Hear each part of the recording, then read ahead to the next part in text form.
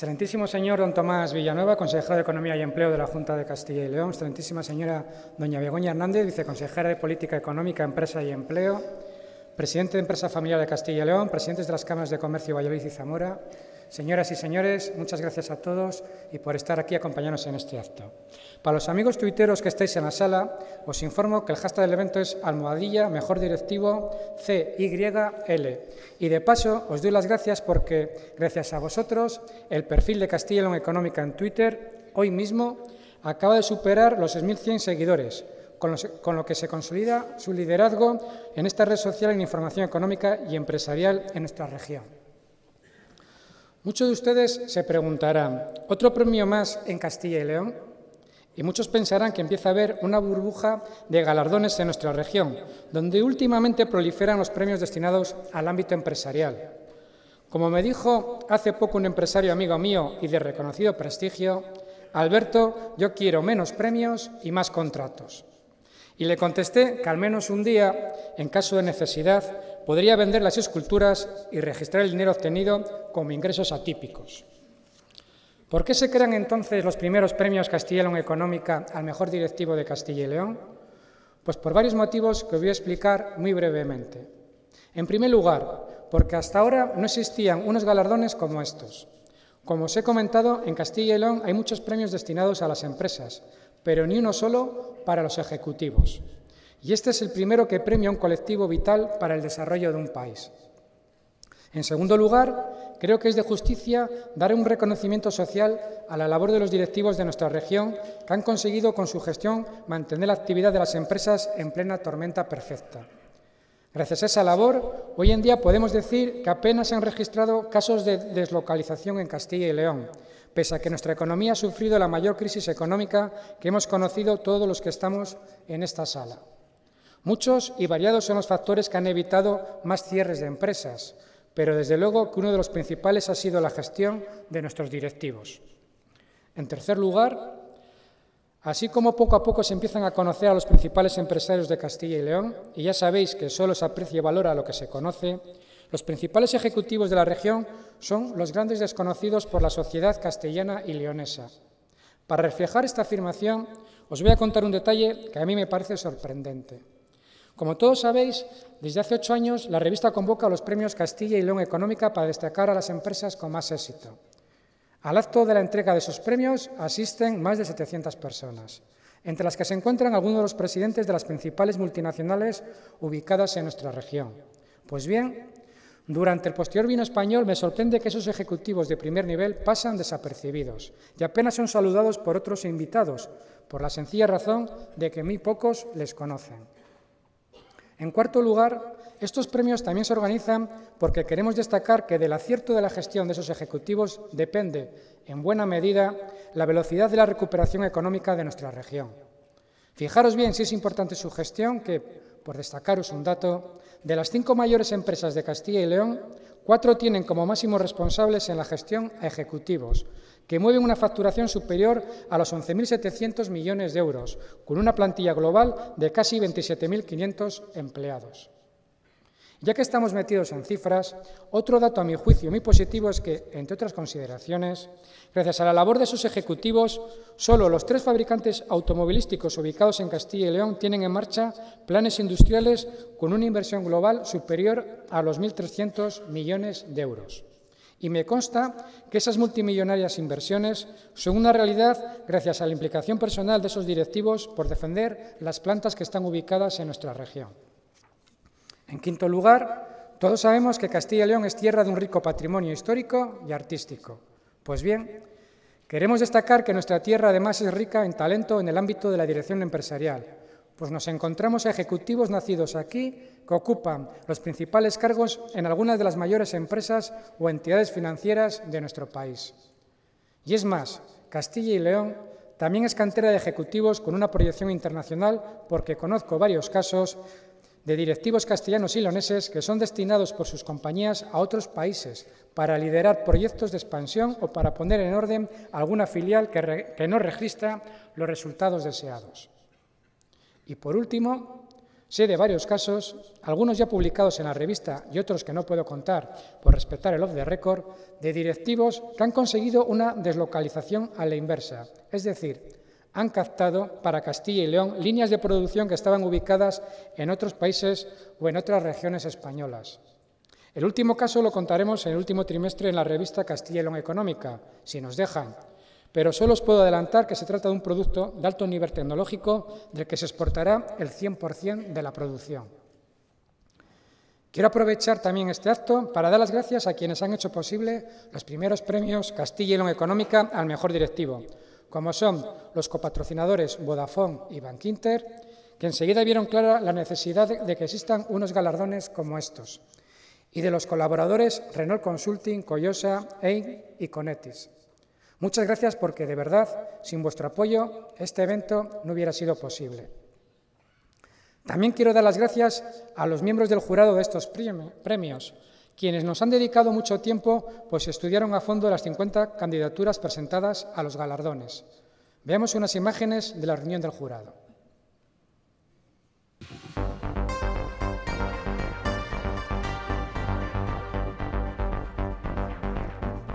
El jurado de los primeros premios al mejor directivo de Castilla y León estuvo integrado por Mar Sancho, directora general de la Agencia de Innovación, Financiación e Internacionalización Empresarial de Castilla y León, Rafael Miranda, presidente de la Asociación para el Progreso de la Dirección APD, quien emitió su voto vía online, Mariano Arán, director territorial de Vodafone en Castilla y León, Joaquín da Silva, su director general director territorial noroeste de Bankinter, Antonio Fernández Álvarez, director general de Renault Consulting, Patricio Llorente, presidente de Coyosa, Alfonso de Benito, director de EIN España, Miguel Calvo, presidente de la Fundación para la Excelencia Empresarial de Castilla y León, Execil, Luisa Alcalde, socia fundadora de Castilla y León Económica, y Alberto Cajigas, director de Castilla y León Económica.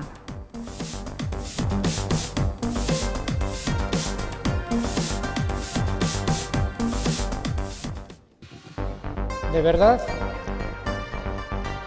de verdad, creo que sin la eficaz labor de los ejecutivos que desarrollan su trabajo en Castilla y León, la crisis hubiera sido mucho peor. Habría más paro, más empresas cerradas y la deseada recuperación económica estaría mucho más lejos. Vuestro esfuerzo y dedicación ya se empieza a traducir en datos positivos.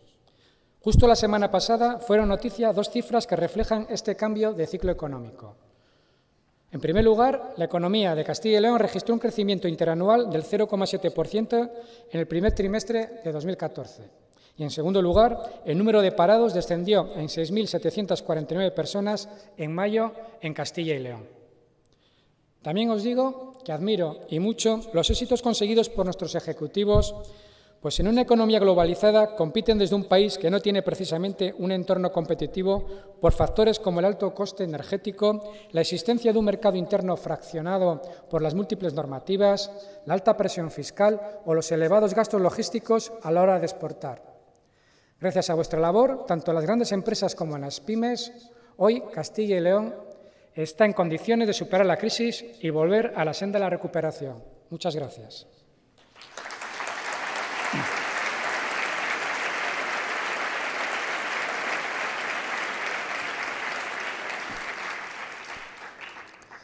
A continuación, cedo la palabra a María Dolores Dancausa, consejera delegada de Bankinter, a quien quiero agradecer que haya buscado un hueco en su apretada agenda para estar hoy con nosotros.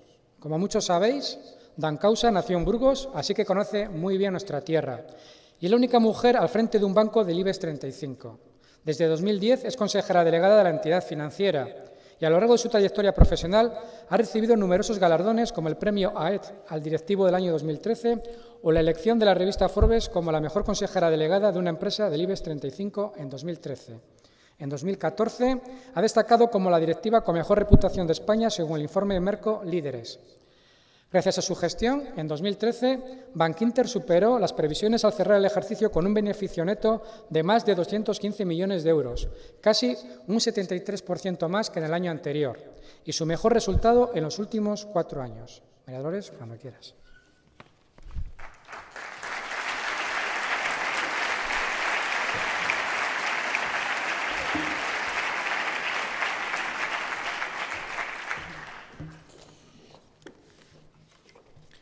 Bien, pues queridos y, valientes organizadores de este primer premio Castilla y León Económica al mejor directivo de Castilla y León. Autoridades y queridos eh, empresarios, directivos, amigos y sobre todo premiados. En nombre de Bankinter, en primer lugar, quiero decir que estamos muy honrados de ser uno de los patrocinadores de este acto y yo personalmente quiero decir también que estoy encantada de estar hoy aquí y de poder asistir a esta entrega de premios al mejor directivo y a los mejores directivos de esta comunidad autónoma que tan cercana y querida es. Porque hoy estamos reconociendo el éxito de directivos de Castilla y León que ejercen su función dentro de esta comunidad. Estamos también reconociendo el éxito de directivos de multinacionales que han decidido instalarse y echar raíz, sus raíces en estas tierras. Estamos al mismo tiempo reconociendo el éxito de directivos que son de aquí, pero que han tenido y han triunfado en otros lugares diferentes a esta comunidad de Castilla y León.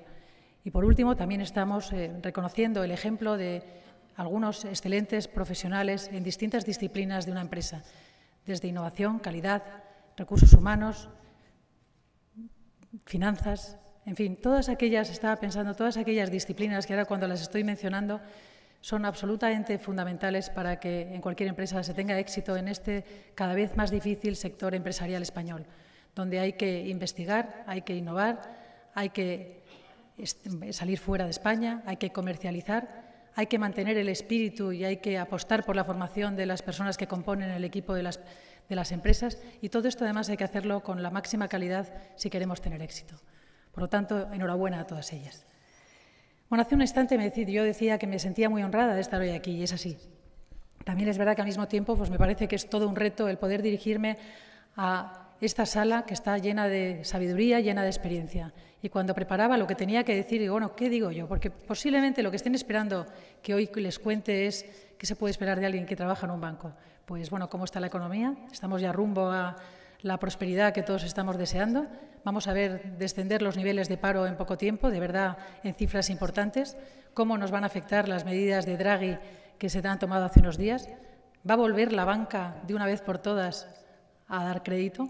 En fin, estas son las preguntas que se tienen en la cabeza.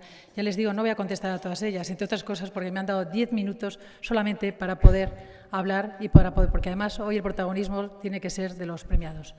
Lo que sí que voy a hacer, independientemente de alguna cosa, diré, del sector y de cómo veo las cosas, pero sí hablarles muy sucintamente de cuál ha sido mi trayectoria profesional, por lo que pueda servir para muchos de los premiados que están aquí y, por supuesto, pues tengo que hablar de Bankinter porque realmente es lo que hoy estoy aquí representando. Bien, yo suelo decir que toda mi carrera profesional se ha desarrollado en el sector financiero. Siempre digo que he tenido la suerte y el privilegio de trabajar para empresas modernas e innovadoras como Bankinter, como en su momento Línea Directa, empresas en las que se premia el resultado, los talentos, el talento, la capacidad que tienes de contribuir al éxito de las mismas. Trabajé en Bankinter en una primera etapa de mi vida, nada más terminar la carrera, fue una experiencia fantástica porque era ya un banco enormemente moderno, innovador, que apostaba por la multicanalidad y bueno, en el que participé en proyectos apasionantes y realmente lo que a mí me dejó Bankinter en aquella época fue el darme cuenta de la importancia del liderazgo, la importancia de la estrategia, la importancia de tener una dirección clara y simple para hacer que los demás te sigan. Como una experiencia de esas únicas que surge en la vida, iba al ser Bankinter ese banco innovador, se creó un proyecto para montar una compañía de seguros por teléfono, que era un, proyecto conjunto entre el Royal Bank of Scotland y, y, Bankinter. Fui parte de ese equipo y, bueno, en 16 años que estuve trabajando allí, los tres últimos como consejera delegada, pues... Eh, Línea Directa Aseguradora, la compañía del teléfono rojo con ruedas, que seguro que conocen todos porque hemos invertido muchísimo en, televisión, eh, tiene ya más de dos millones de clientes, facturamos 650 millones de euros en primas y con unos beneficios de 128 millones de euros. En fin, yo hablo de línea directa no tanto por contar algo que ya en mi vida has pasado, sino por decir que siempre pienso que el tener la oportunidad, sobre todo para los que hoy estamos aquí, que somos directivos y no tanto empresarios, aunque he visto que hay de todo, como digo, tener la oportunidad de participar en el nacimiento, en el desarrollo, desde la concepción hasta verla a una, compañía de cero y verla que tiene éxito en el mapa empresarial español, pues es realmente un privilegio y es algo enormemente excepcional. Y además, si desde esa compañía tienes la posibilidad de contribuir a la transformación de un sector como era el asegurador, que estaba anclado en unas estructuras claramente mejorables, pues todavía el privilegio es aún mayor. Porque hoy en día hay tantos ejemplos, es decir, todos soñamos, los pequeños empresarios, la gente que monta empresas, con lanzar el próximo Google, el siguiente Facebook, un nuevo Zara, un nuevo Amazon, otro YouTube. hay tantos ejemplos recientes de empresas que en poco tiempo alcanzan unos niveles de éxito, de notoriedad y de resultados e ingresos tan impresionantes que, bueno, hoy la gente sueña con ello. Yo, por supuesto, en unos niveles muchísimo más eh, limitados, pero sí que puedo decir que, en fin, en esa compañía donde contribuí desde el primer día, pues tuve la satisfacción de ver que es una compañía de éxito y que en este momento pues tiene, un papel relevante en el sector para el que fue, eh, creada. En octubre del año 2010 eh, fui a Bankinter, volví a Bankinter, a mi casa matriz como consejera delegada y volví llena de ilusión por lo que es estar al frente de lo que es la mejor institución financiera en España. Sé que aquí hoy hay competidores, lo siento, pero en fin, yo vivo el banco con, pasión y además es que creo que los que gestionamos empresas no lo podemos hacer de otra manera, porque sin pasión y sin metas posiblemente nos hundiríamos en estos tiempos difíciles que nos ha tocado vivir. Por tanto, llevo mi responsabilidad de consejera delegada tres años y ocho meses, casi cuatro años, que eso en el mundo de la banca parece poco, pero sí les puedo decir que para mí es un mundo, porque claro, han sido tres años y pico vertiginosos, para la economía española, pero desde luego para las instituciones financieras mucho más, en los que han sido momentos estremecedores, inquietantes, al mismo tiempo clarificadores, llenos de oportunidad, porque lo que está claro es que una vez que la reestructuración financiera ya está prácticamente a punto de culminarse, pues eh, va a emerger un sector financiero mucho más sólido, mucho más solvente, mucho más dinámico y mucho más eh, capitalizado. Y desde luego lo que tenemos claro en Bankinter es que nosotros vamos a ser y queremos ser un referente. Me van a permitir unas pinceladas sobre Bankinter. Yo quiero decir que el banco es un ejemplo de lo que en un entorno difícil y con un panorama convulso y en ocasiones ciertamente hostil, como el que hemos vivido en las entidades financieras, pues yo creo que Bankinter ha dado ejemplo de lo que es un banco profesional, donde las cosas se hacen con rigor, con honestidad. Y bueno, todo esto al final pues eh, siempre da buenos resultados. Baste decir, ya se ha mencionado, los resultados del último año pues, han sido los mejores de los últimos cuatro años y eso nos, bueno, con respecto a nosotros mismos estamos satisfechos, con respecto al resto de competidores también. Somos un banco que tenemos la tasa de mora más reducida del sector financiero, un 5% frente al 13,6%. Yo siempre digo que estos años los hemos vivido con normalidad en el banco, que claro, cuando estamos hablando de tasas de morosidad del 13%, pues hablar de, normalidad es algo muy excepcional. ¿Y por qué digo que en Bankinter lo hemos vivido con normalidad? Bueno, pues porque algo normal para nosotros ha sido no pedir ayudas públicas, pero eso no ha sido tan normal en los últimos años. No hemos tenido que traspasar ni un solo activo adjudicado al Saref, tampoco ha sido tan normal. No hemos utilizado los activos fiscales diferidos para mejorar nuestra capitalización y nuestra solvencia. Hasta aquí todo normal, pero tampoco ha sido así. Y bueno, eh, hemos dado beneficios año tras año, hemos repartido dividendos año tras año a nuestros accionistas y en este momento somos la entidad financiera que tiene una tasa de retorno al capital mayor. ¿Somos perfectos? No, nos hemos equivocado mucho. Por supuesto que sí. Lo que pasa es que yo creo que hay grandes equivocaciones en las que cayó el sector, en los que por fortuna Bankinter no había caído. El primero de ellos es que no caímos en el atractivo señuelo de los promotores inmobiliarios y eso hizo que nuestra tasa de mora fuera muchísimo menor que la que tienen el resto de los competidores. Por otro lado, tampoco nos sobredimensionamos en los tiempos de prosperidad y euforia en abrir oficinas, en contratar a mucha más gente, con lo cual hemos tenido que hacer reestructuraciones que son tan dolorosas y que tanto eh, desastre producen. Y por otro lado, desde hace muchísimos años el banco hizo una clara apuesta por la tecnología y eso nos ha hecho ser un banco enormemente eficiente. Sin embargo, por hablar de algún error, pues sí que caímos en ese error de dar hipotecas a precios bajos, a plazos muy largos, y bueno, pues claro, lógicamente esa parte de la cartera no es muy rentable, que digamos. Pero en fin, lo estamos compensando con buenos créditos a muy buenas empresas y a buenas familias que hay en toda la economía española. Bueno, yo decía que quiero ser breve y, voy a serlo, porque además creo que el protagonismo hoy lo tienen que tener los premiados. Pero sí quería decir que, el momento, vamos a ver, que estamos viviendo, yo creo que es un momento apasionante, es un momento de oportunidad, también es un momento de riesgos. Y si hablamos de riesgos, por supuesto, hablando en términos económicos, el mayor riesgo posiblemente sea caer, o la facilidad, mejor dicho, que tenemos para caer en la autocomplacencia y en la euforia de nuevo, cuando realmente si se analizan las cosas con frialdad y con objetividad, pues muchas no han cambiado. Y muchas de las cosas que nos trajeron a esta crisis se mantienen intactas. Y hay otras pues, que están claramente peor, como por ejemplo los niveles de endeudamiento del sector público.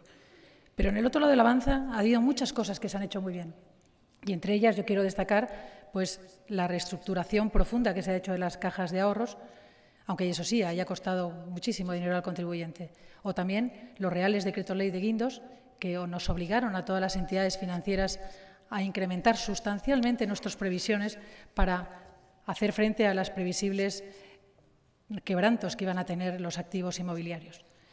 Y todo esto lo, que quiero es llevarlo a la reflexión de que las cosas pueden cambiar a peor, como dicen algunos que lo quieren seguir viendo todo pesimista, pero también pueden cambiar sustancialmente a mejor. Y esto además puede pasar muy pronto. Yo venía pensando hoy en el tren que ¿quién nos hubiera dicho a nadie en la banca que en dos años, hace dos años, que ahora en el mes de noviembre las entidades españolas vamos a ser supervisadas y reguladas desde Frankfurt y no desde el Banco de España.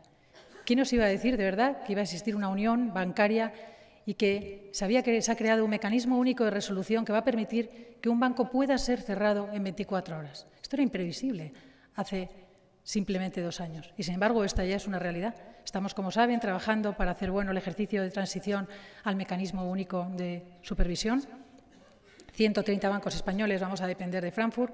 en fin, todo esto ya son realidades que pasan. Como prueba también de cambios que estoy segura que algunos de los aquí presentes también recuerdan, en otro contexto es que ¿quién nos iba a decir? Es decir, ¿quién se iba a imaginar que con la caída del muro de Berlín ir a Brandenburgo, ir a la puerta de Brandenburgo iba a ser tan sencillo? No hace tanto tiempo, para ir a la puerta de Brandenburgo había que coger desde Valladolid posiblemente tres aviones, pero si no dos había que pasar cuatro controles aduaneros, cuatro controles de policía y cambiar al menos dos veces de moneda. Y en, poco tiempo, en este momento uno, desde luego desde Madrid, no sé si desde Valladolid, en el aeropuerto que tienen, pero se va directamente a la puerta de Brandenburgo sin pasar por un solo control aduanero, sin pasar por un solo control de policía y, por supuesto, sin cambiar de moneda. Quiero decir con esto que los cambios llegan, y claro que llegan, y pese a la lentitud exasperante de esta recuperación, que parece que no va a venir nunca, la recuperación vendrá y cuando venga nos tiene que pillar a todos muy preparados. Y para que nos pille preparados, yo creo que es importante hacer un ejercicio de integridad y de honestidad, algo en el que tenemos todavía muchísimo que aprender. Tenemos que seguir apostando por la innovación, tenemos que seguir apostando por nuestras plantillas, apostando por la formación de nuestros, empleados y perseverando en todas las iniciativas que tengamos. Así que nada más, muchísimas gracias a los organizadores por impulsar a las mejores empresas y a los mejores directivos de empresas de esta magnífica comunidad autónoma y mis más sinceras eh, felicitaciones a todos los directivos premiados. Muchas gracias.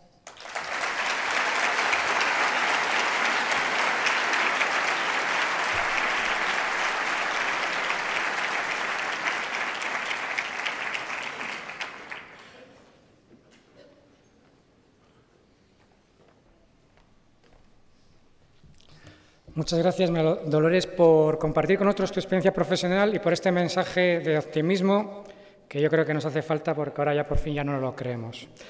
Y a continuación cedo la palabra a Francisco Román, presidente de Vodafone España. Francisco ha ocupado diferentes puestos de responsabilidad en Vodafone España hasta que fue nombrado consejero delegado en febrero de 2003 y presidente consejero delegado en enero de 2008. Desde 2012 es presidente de Vodafone España. Francisco también conoce bien nuestra región, pues no hay que olvidar que Vodafone cuenta con un centro en el Parque Tecnológico de Buecillo y que la compañía ha anunciado este mismo año la compra de ONO, que tiene una gran implantación en Castilla y León y también posee otro centro en el Parque Tecnológico de Buecillo. Francisco, cuando quieras.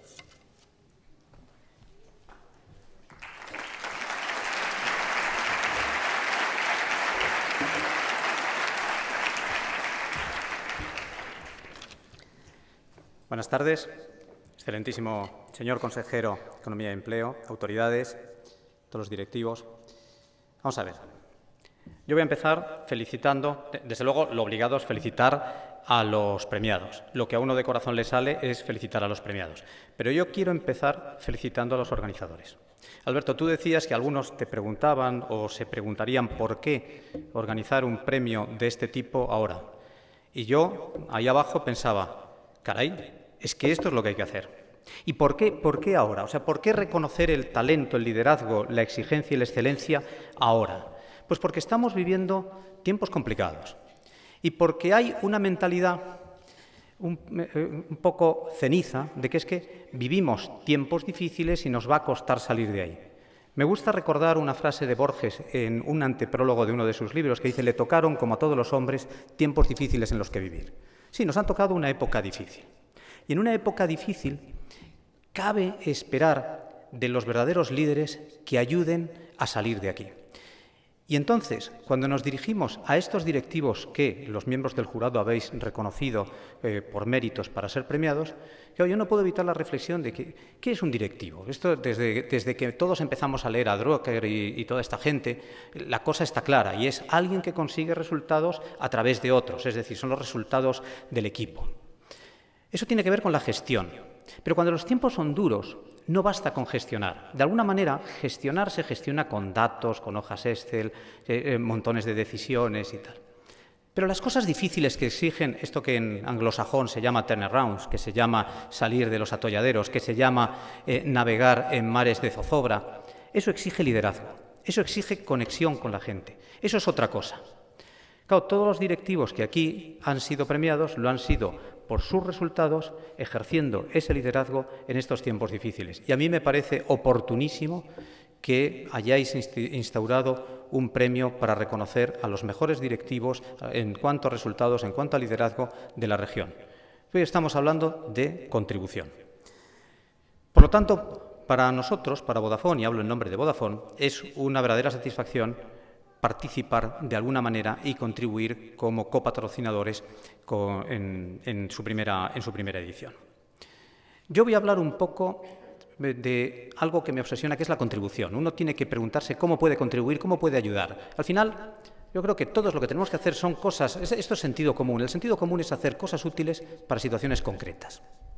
Entonces, yo miro a mi compañía, Vodafone, y digo, ¿qué podemos aportar? ¿Y qué podemos aportar ahora en esta región?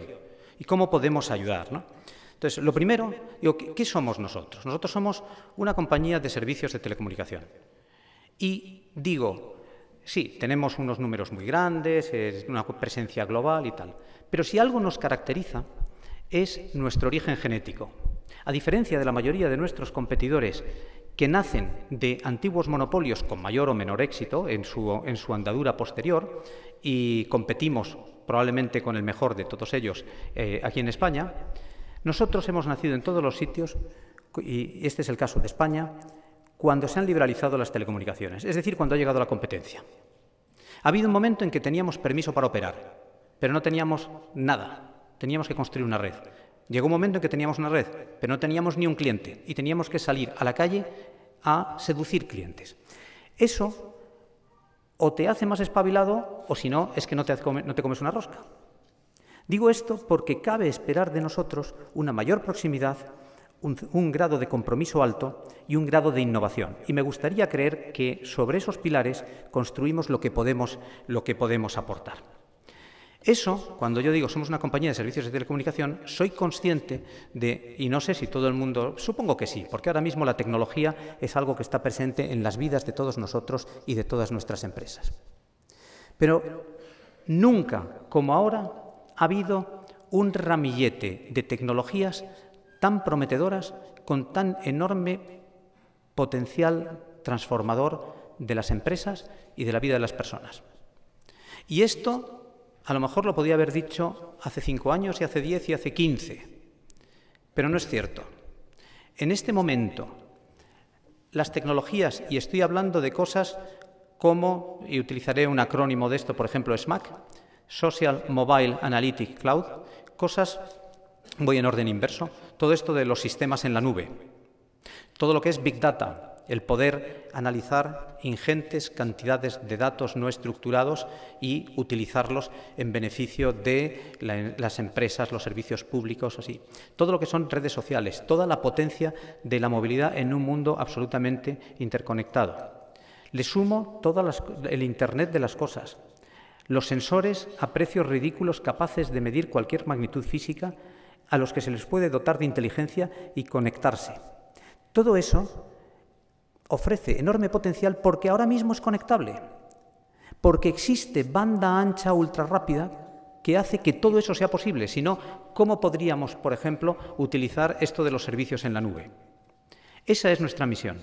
De hecho, un sector, como si hablo en como miembro de este sector, del sector de, de telecomunicaciones y añadidos, viene a representar en un país aproximadamente el 4 o el 5% de su Producto Interior Bruto. Pero está relacionado con entre el 50 y el 60% del crecimiento. No hablemos ya de la transformación. Entonces, eh, ahí es donde tenemos que contribuir. Nosotros, como Vodafone en España, yo creo que estamos viviendo un momento del que me siento personalmente, como no tengo ahí ningún mérito, me siento personalmente muy orgulloso. En cuanto a lo que estamos construyendo para precisamente eh, esa contribución. Siempre hemos entendido la importancia de la infraestructura de red. En estos momentos estamos volcados invirtiendo en la red y hemos desplegado 4G y estamos desplegando 4G eh, por todo el país. Estamos desplegando fibra y hemos, y Alberto lo comentaba, hemos anunciado recientemente la decisión de adquirir ONO. Una decisión importante. Yo ya, eh, vamos, cuantiosa, 7.200 millones de euros, pero yo haría aquí dos reflexiones para compartir con todos, con todos ustedes. La primera lo que eso supone en términos de potencial para ofrecer a nuestros clientes. Por primera vez va a haber una oferta tan equilibrada como la del incumbente que puede venir del, monopolio. Nosotros, especialistas en móviles, nos complementamos con una compañía que tiene la mejor red de fibra de España, con acceso a 7,2 millones de hogares y con una presencia fuerte, muy fuerte, precisamente aquí. Pero la segunda reflexión es compartir un poco, digamos, síntomas de optimismo. Una compañía no invierte más de 7.000 millones de euros si no tiene confianza en el devenir de una sociedad, en el devenir de un territorio. Nosotros estamos convencidos de que España está andando en la dirección correcta, de que las cosas van bien o van a ir bien y van a ir mejor, y nuestra apuesta es esta, es de fuerte contribución a través de la inversión construyendo nuestra red, para permitir cosas como comunicaciones unificadas para las empresas, cosas como los pagos por el móvil, el wallet que hemos lanzado eh, hace poco, cosas, han hablado antes de Big Data, todo ese tipo de cosas. Aquí, cuando uno habla de contribución, yo decía, se trata de hacer cosas útiles para situaciones concretas. Y estamos en Castilla y León. Bueno, pues hoy eh, mis compañeros y yo nos juntábamos, comíamos con, periodistas locales para compartir con ellos nuestros proyectos de inversión aquí. Y les comentábamos que en, un periodo de dos años, y estamos en mitad de ese periodo de dos años, estamos invirtiendo en la región en infraestructura 84 millones de, 84 millones de euros. Como también compartíamos que nuestra contribución a la región anual es de 176 millones si contamos lo que pagamos a las personas, lo que son las compras a empresas radicadas en el territorio y lo que pueda ir vía, tasas. Estamos desarrollando, estamos desplegando fibra aquí en Valladolid con un alcance ya de 63.000 clientes en un proyecto con la Junta. Les comentábamos precisamente a, los periodistas cómo vamos a llegar enseguida a 22 municipios con 4G, en este momento 15 y sumamos 9 con la importancia de municipios como Ponferrada eh, y, de, este tipo. Y me parece que al final hay un momento en el que uno debe callar y poner en valor lo que hace haciéndolo. Esto es lo que hacemos nosotros construir la que pretendemos que sea la mejor red, tanto móvil como de fibra, en beneficio de las empresas y de las personas de la región. Tenemos un contacto, yo diría, cotidiano, granular e íntimo importante en la región, porque es verdad que invertimos, es verdad que compramos localmente, es verdad que tenemos eh, pues muchísima gente trabajando para nosotros. El, por cierto, que el centro de Boecillo lo hemos mudado al polígono, pero ¿qué es, es este? Estamos hablando de más de 1.400 personas trabajando allí y nosotros apostamos por Boecillo, pues yo creo que en la prehistoria, es decir, cuando, cuando nació Airtel. Pero hacemos también cosas como, por ejemplo, cosas que yo diría por eso hablaba de, un contacto más íntimo, cosas a través de nuestra, de nuestra fundación, fundación especializada en utilizar tecnología para evitar brecha en colectivos vulnerables. Es decir, que colectivos de personas que podían sufrir la tecnología como un elemento de separación lo vean como un elemento de integración. ¿eh? por cualquier tipo de discapacidad, sea física o sea psíquica, o colectivos como personas mayores que puedan estar más desenganchadas. Bueno, pues, por ejemplo, con la Junta tenemos un, proyecto Sensor Click para formación de mayores en, ya no en utilizar el teléfono, sino en utilizar Internet, así, por el que han pasado más de 4.000 personas, o un proyecto Conecta Socil para, con la Asociación de Personas Sordociegas de Castilla y León, que entendamos todos la importancia de trabajar ayudando a personas con, este, con estos problemas a mejorar su capacidad de comunicación con los demás o trabajando con la Universidad de Valladolid haciendo el campus accesible. Es decir, viviendo, además de los proyectos de inversión, además de la operación, además del contacto con nuestros clientes, íntimamente tratando de ayudar en problemas en la sociedad allí donde estamos operando. Y estamos hablando de Castilla y León. Y nada más, yo lo que reitero, la satisfacción de participar en esta primera edición de los premios. Os doy la enhorabuena por la idea y por haberlo llevado a cabo, porque ideas hay muchas, pero no todas eh, aterrizan eh, felizmente. Lo más importante, felicitar a todos los premiados y me sumo al brillante, no con la brillantez, me sumo al brillante discurso de María Dolores Dan Causa, haciendo una llamada a lo que debe ser al final nuestra propia acción para que el optimismo sea un estado de ánimo que se genera por eso, porque nosotros actuamos, porque al final de lo que se trata es de andar por esa senda que es innovación, que es excelencia, que es exigencia, que es liderazgo y tal. Todo eso que representan los premiados, con lo que yo me callo, felicito de nuevo a los premiados y animo a todos a que nos esforcemos en ese nivel de exigencia para ir a donde tenemos que ir, que es siempre mejor, y construyendo una sociedad, en este caso Castilla y León, mucho más próspera, que atraiga más talento, que retenga más talento, como representan estos directivos premiados. Muchísimas gracias por su atención.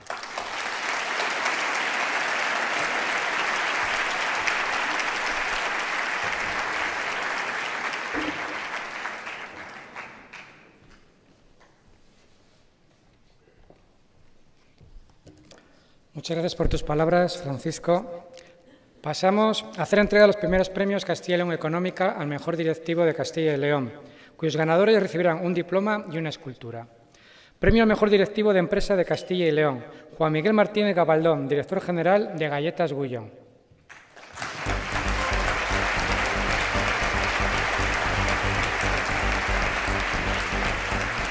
Mejor directivo de empresa de Castilla y León, Juan Miguel Martínez Gabaldón, director general de Galletas Gullón. Juan Miguel Martínez Gabaldón es director general de Galletas Gullón desde hace 28 años. En este periodo, la compañía se ha convertido en la primera empresa fabricante de galletas de España y ha consolidado su liderazgo dentro del apartado de productos saludables, con una cuota cercana al 30%. Bajo su dirección, los niveles de crecimiento de la compañía han sido sostenidos, con aumentos anuales superiores al 10% y con una facturación al cierre de 2013 de 257 millones de euros, un 19% más que en el ejercicio anterior, unos beneficios de más de 20 millones de euros y una plantilla de 924 trabajadores, que llegará al millar antes de que acabe el año. La empresa con sede en Aguilar de Campo, que tiene previsto invertir 70 millones hasta 2016, comercializa sus productos en más de un centenar de países, con unas exportaciones que generan el 35% de la facturación, estando previsto que ese porcentaje se eleve al 50% en 5 años. Martínez Gabaldón gestiona en la actualidad la planta galletera más grande en superficie y automatizada de Europa, con más de 100.000 metros cuadrados y una capacidad productiva próxima a los 200 millones de kilos, a la que se une una tercera factoría que acaba de ponerse en marcha con dos líneas de bizcochos y tortitas, y está en montaje la tercera.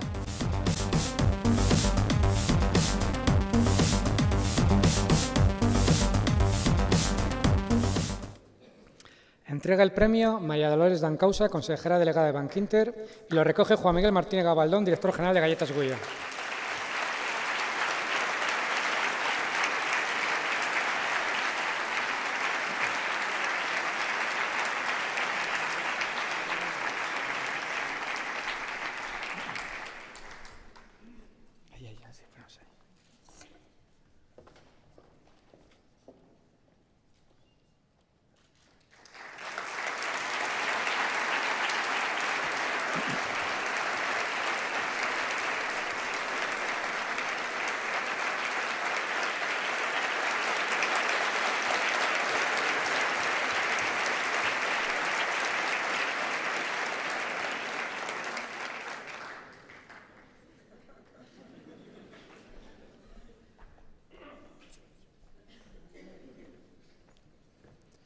Premio al mejor directivo de multinacional ubicada en Castilla y León. Ricardo García, vicepresidente ejecutivo del Sur Europa de Benteler.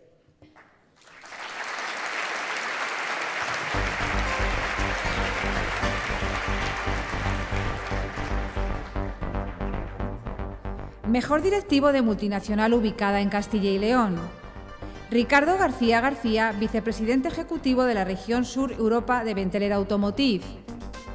Ricardo García García es desde marzo de 2011 vicepresidente ejecutivo de la región Sur Europa de Benteler Automotive, un ámbito que incluye las plantas de Burgos y venta de baños en Castilla y León, además de otras 13 factorías en varios puntos de España, Portugal, Sudáfrica, Turquía y Francia. La facturación de estas 15 factorías alcanza los 1.200 millones de euros, con una plantilla global de 3.000 trabajadores. En su apoyo a Castilla y León, García García trasladó a Burgos la sede social y fiscal de la región sur de Europa de Benteler Automotive, que se encontraba en Barcelona, lo que supuso la creación de 30 puestos de trabajo en la planta burgalesa, que se ha convertido en la mayor factoría de la multinacional de la región sur Europa. Gracias a esta operación, Burgos se ha convertido en un centro de decisión a nivel internacional de Benteler Automotive, que es una de las mayores multinacionales de la industria auxiliar de la automoción.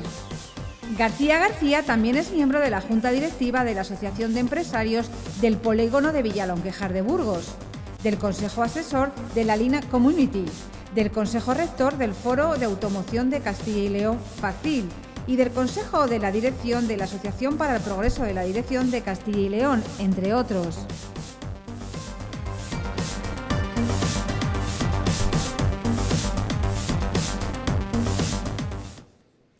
Entrega el premio Antonio Fernández Álvarez, director general de Renault Consulting, y lo recoge Ricardo García, vicepresidente ejecutivo del Sur Europa de Benteler.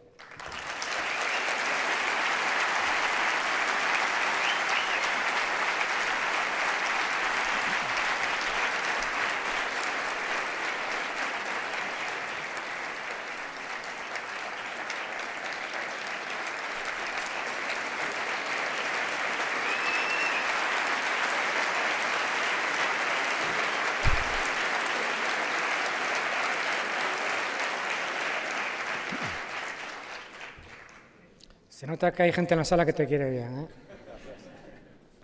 Premio al mejor directivo financiero.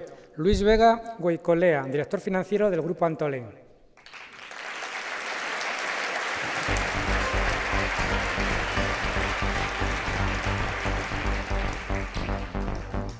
Mejor directivo financiero.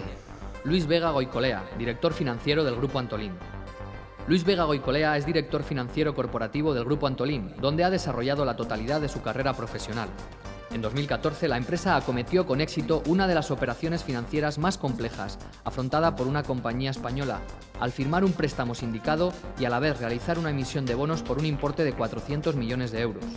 Las órdenes de suscripción por parte de 250 inversores superaron los 3.000 millones de euros y se consiguió cerrar al precio más bajo de un bono de similares características en España en el plazo récord de 48 horas.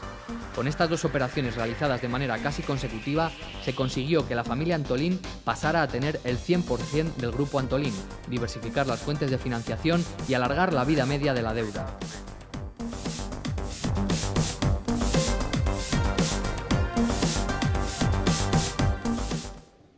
Entrega el premio Joaquín da Silva, su director general y director territorial noroeste de Bankinter, y lo recoge Luis Vega Huicolea, director financiero del Grupo Antolén.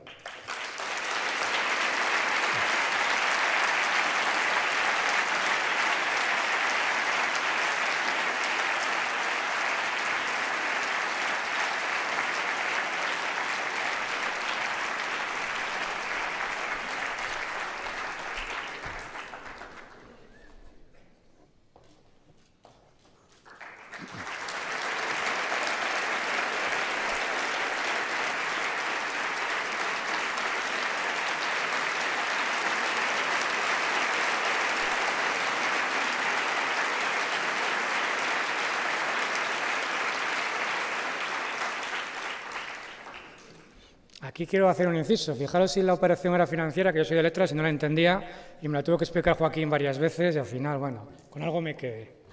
Premio al mejor directivo comercial marketing, María Eugenia García, directora de marketing de Acuana.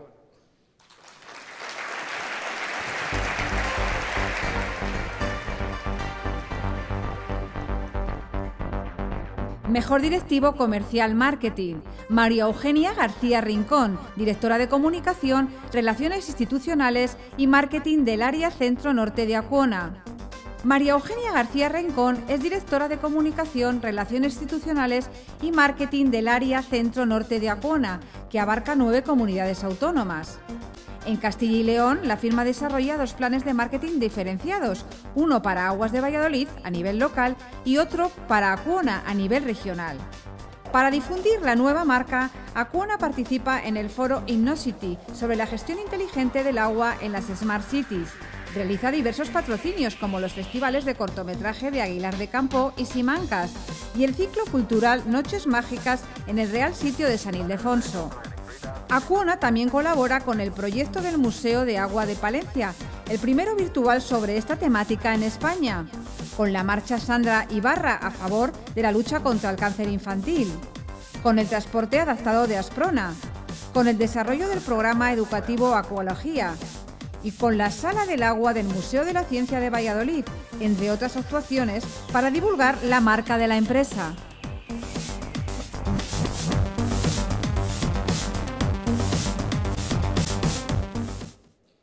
Entrega el premio Luis Alcalde, socia fundadora de la revista Castellano Económica, y lo recoge María Eugenia García, directora de marketing de Acuana.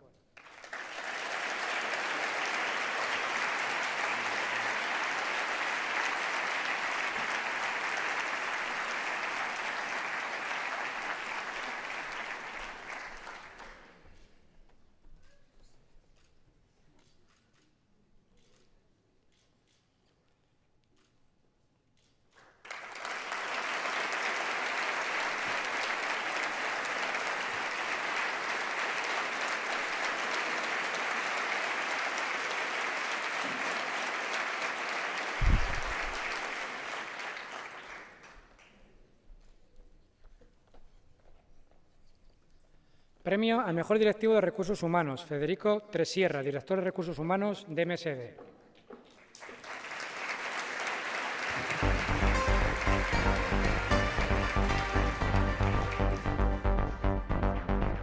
Mejor directivo de recursos humanos, Federico Tresierra Cascajo, director de recursos humanos de MSD Animal Health en Salamanca. Federico Tresierra Cascajo es desde 2009 director de recursos humanos de la planta que MSD Animal Health, líder mundial en salud animal, posee en Salamanca.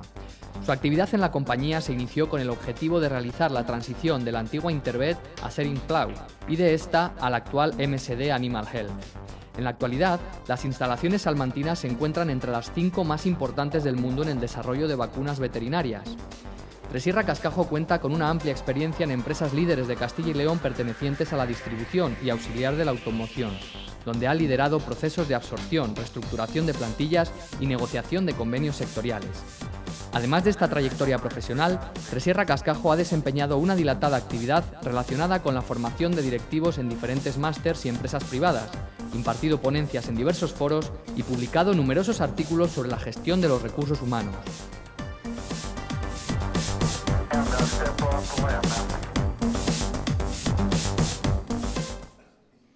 Entrega el premio Miguel Calvo, presidente de la Fundación ESECIL y consejero delegado del Grupo El Norte, y lo recoge Federico Tresierra, director de Recursos Humanos de MSD.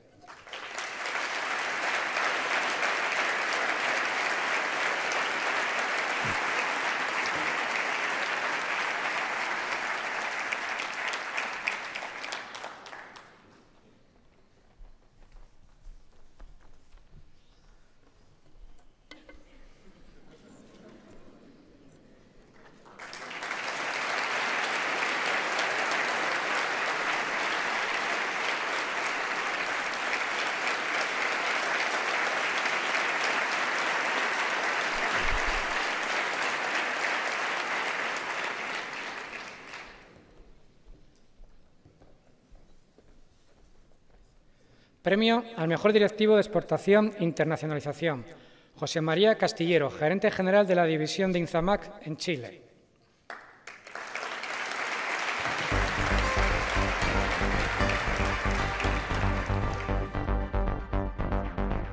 Mejor directivo de exportación e internacionalización, José María Castillero, gerente general de Latinoamérica del Grupo Inzamac. José María Castillero trabaja en el Grupo Inzamac desde mayo de 2006 y en la actualidad es gerente general de Latinoamérica de la empresa zamorana, que ha conseguido triplicar su facturación en Chile en los últimos años. Entre los principales logros profesionales de Castillero se encuentran el fortalecimiento y desarrollo de Inzamac Chile y el resto de filiales del grupo empresarial en el país andino, la implantación y el desarrollo de Inzamac en Perú, la congelación del desembarco en Bolivia por la falta de garantías que ofrecía el país, la compra de la empresa chilena Laboratorio Terra y su posterior absorción, y la adjudicación de importantes licitaciones en el ámbito de la ingeniería. Castillero también preside la Cámara Española de Comercio en Chile, cuyo nombramiento supuso un gran reforzamiento de la imagen del Grupo Inzamac en ese país. Licenciado en Ciencias Físicas, este directivo siempre ha orientado su trabajo a sistemas de gestión y organización empresarial.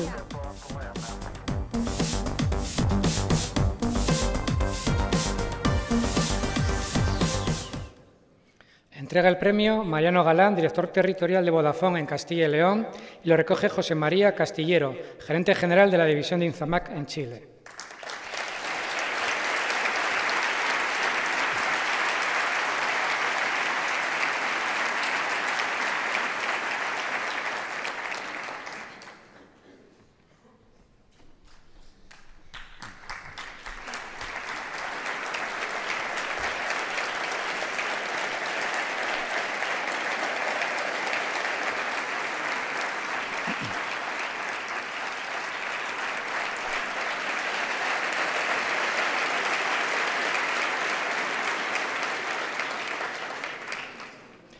A José María le quiero agradecer además el esfuerzo de que haya venido a recoger los premios porque me han dicho que ayer mismo llegó de Chile para venir a poder estar hoy aquí en el acto con nosotros.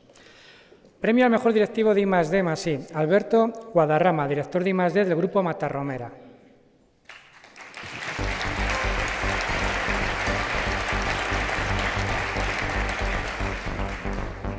Mejor directivo de I D más I, Alberto Guadarrama, director de I D Masí y responsable de informática y trazabilidad del Grupo Matarromera.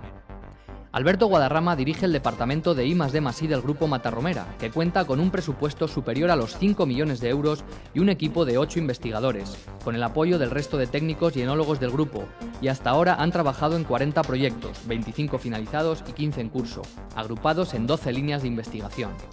Gracias a este trabajo, la compañía vitivinícola se ha situado como una de las más innovadoras del mundo, con desarrollos como una patente propia de extracción de polifenoles, la creación de una bebida a base de vino sin alcohol, la elaboración de alta cosmética basada en la uva o la puesta en marcha de la planta de deconstrucción molecular más grande de Europa.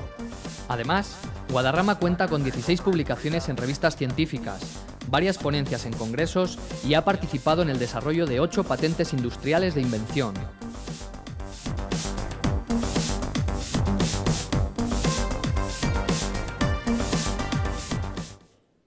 Entrega el premio Alfonso de Benito, director de AIN España, y lo recoge Alberto Guadarrama, director de I+D del Grupo Matarromera.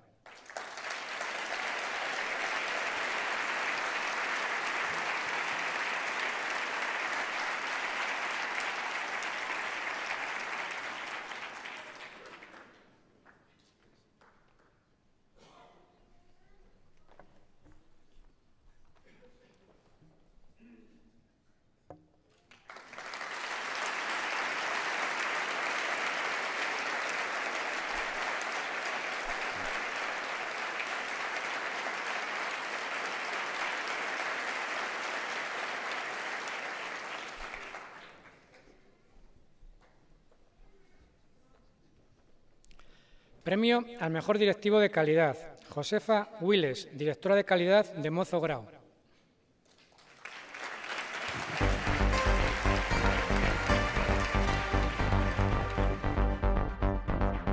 Mejor directivo de calidad, Josefa Willes Muñoz, directora del Departamento de Calidad de Mozo Grau. Josefa Willes Muñoz ha participado en el desarrollo de un software de gestión pionero que permite obtener la máxima información del estado en tiempo real de cada proceso y de cada lote de piezas en la fabricación de implantes dentales producidos por la empresa vallisoletana. El exhaustivo control realizado por el Departamento de Calidad ha posibilitado el mantenimiento de las certificaciones sanitarias, tanto nacionales como internacionales, de los sistemas de calidad ISO 9001 e ISO 13485, el marcado CE y las acreditaciones sanitarias en China, Colombia, Rusia, Taiwán y Venezuela. Willis Muñoz es una profesional con amplia experiencia en la gestión de calidad y requerimientos reglamentarios de distintos sectores industriales, entre los que sobresalen automoción, consultoría, formación, industria alimentaria, construcción y producto sanitario. En la actualidad imparte también clases en el Máster de Biotecnología y Seguridad Alimentaria de la Universidad Europea Miguel de Cervantes.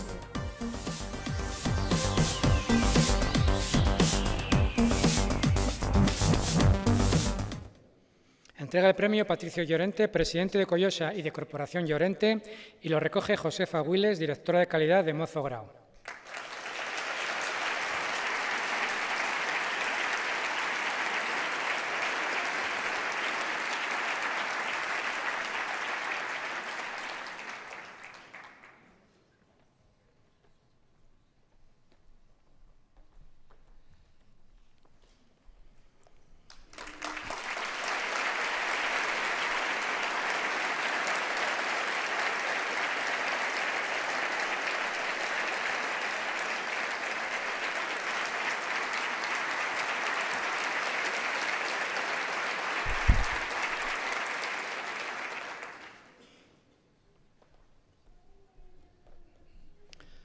Premio al mejor directivo de Castilla y León que triunfa fuera. Javier Robles, presidente de Danón España.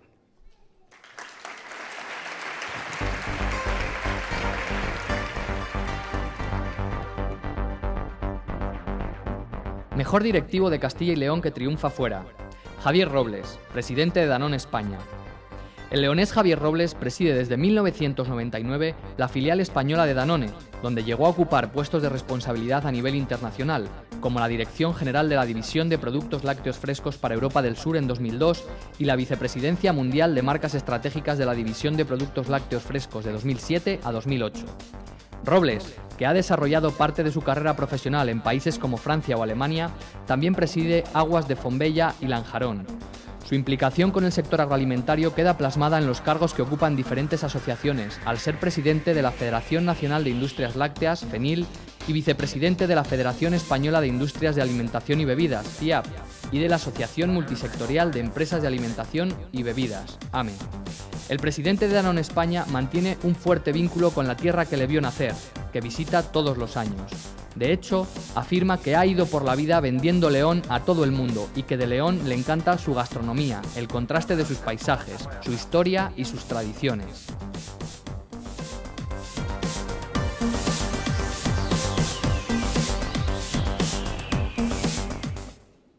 Entrega el premio Francisco Román, presidente de Vodafone España, y lo recoge Javier Robles, presidente de Danone España.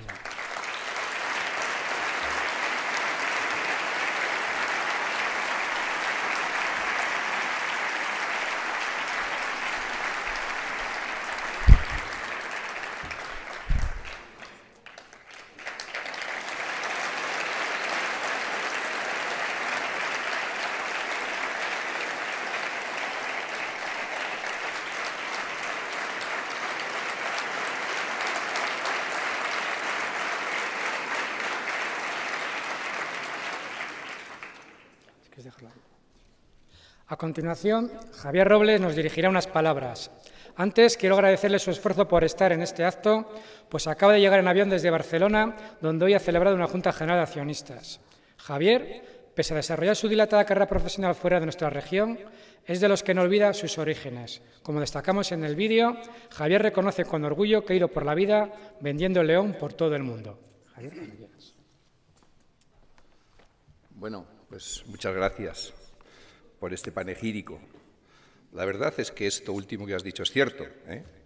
Y tanto es así que yo me califico como el segundo vendedor de León, justo, justo detrás de Luis del Olmo, con la única diferencia de que como no soy del Bierzo, no viendo ni Ponferrada ni el Botillo, pero todo lo demás sí.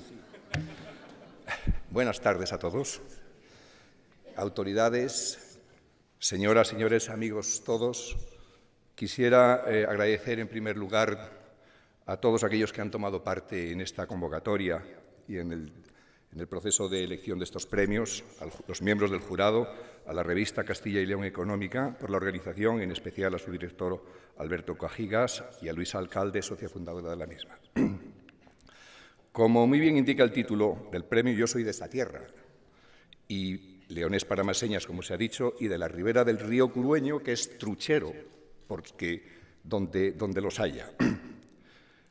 Eh, me siento muy orgulloso de esta tierra y me gusta pues todo o casi todo. Me gusta la gente, me gusta la gente porque yo creo que la gente de Castilla y León tiene un carácter especial. Es gente seria, es gente sobria, es gente austera, es gente que tiene un sentido del honor y de la dignidad que yo entiendo que es de mucho respeto. Es gente que va en línea recta por la vida, según mi manera de ver, y, por supuesto, gente de la que no se puede fiar. Como doy por supuesto que la mayoría sois de aquí, me imagino que no me vais a contradecir en este punto. Bien.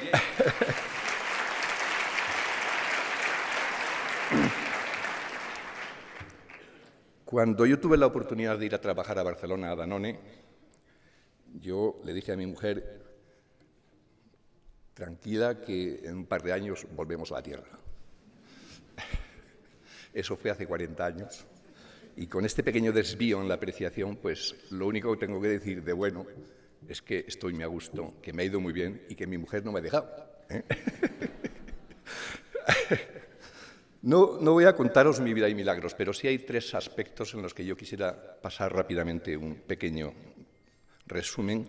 Es mi paso por marketing, mi paso por comercial y mi paso por la dirección general. Podría hablar también de mi paso por el mundo mundial, pero la verdad es que es muy complejo y es mejor dejarlo para, otro premio.